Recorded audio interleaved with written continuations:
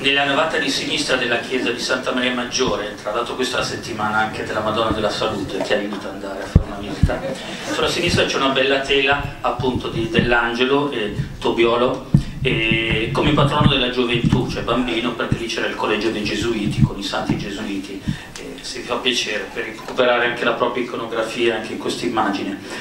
Quello che abbiamo ascoltato e che ascolteremo viene comunque registrato in video da FAQ Trieste, quindi lo troverete online, quindi vi ringraziamo che ancora una volta fanno questo servizio prezioso e ad alta definizione. E prima di ascoltare anche Zeno D'Agostino era previsto l'intervento del ministro Patuanelli, abbiamo chiesto se potevamo lasciarci un messaggio ma non ce l'ha fatta, vi porto comunque il saluto del Presidente della Regione che non è potuto intervenire ma porge il suo saluto.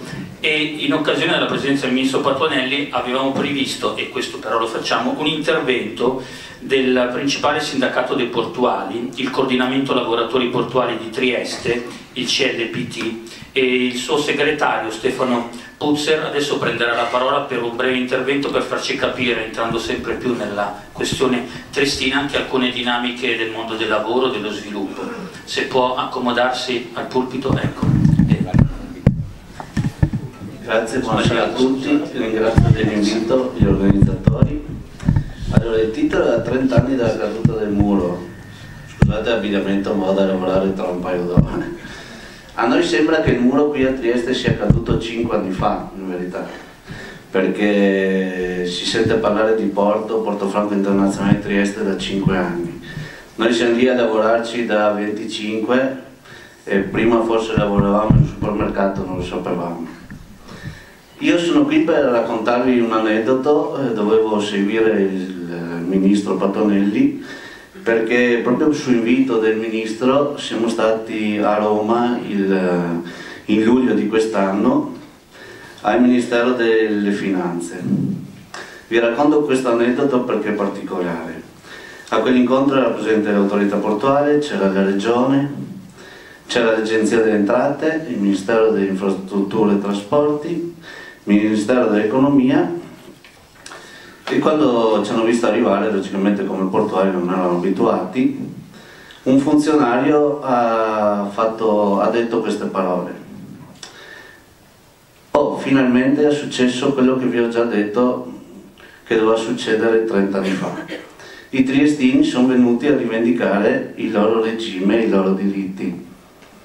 Anche noi siamo rimasti sbalorditi perché neanche qui in città, se non una minima parte delle persone, sapeva quale fosse il regime. E lui ci ha detto, non mi aspettavo che venissero i portuali, mi aspettavo che venissero altri, però ci sono voluti 30 anni, ben venga che qualcuno sia arrivato.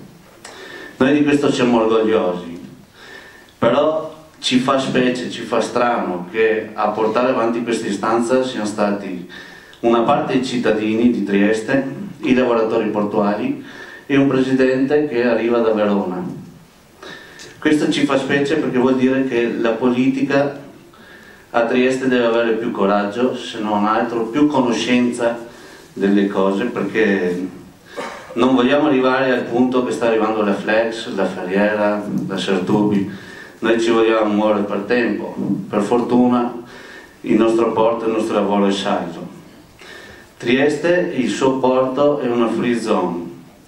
Noi ci aspettiamo coraggio dalla politica locale, noi abbiamo visto, leggiamo sui giornali, scusate se mi permetto di entrare in questo discorso, anche l'IMU fatta pagare agli imprenditori del porto di Trieste. Secondo noi non è aiutare il lavoro, aiutare il porto in sé. Quindi scusate se mi sono permesso di rubarvi un paio di minuti, il nostro è uno sprono alla politica locale, soprattutto ai politici triestini. Coraggio, abbiamo bisogno anche del vostro aiuto se no ci ritroviamo sempre a far sciopero contro il nostro presidente, ma alla fine come il cane che si morde la coda. Grazie.